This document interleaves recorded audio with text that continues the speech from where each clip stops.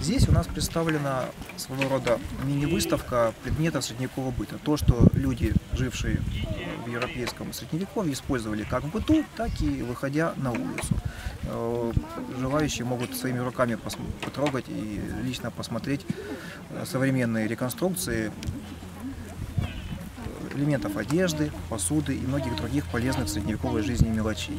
Если будет желание, приходите, будем очень рады вас видеть. Приходите на Херсонес на фестиваль.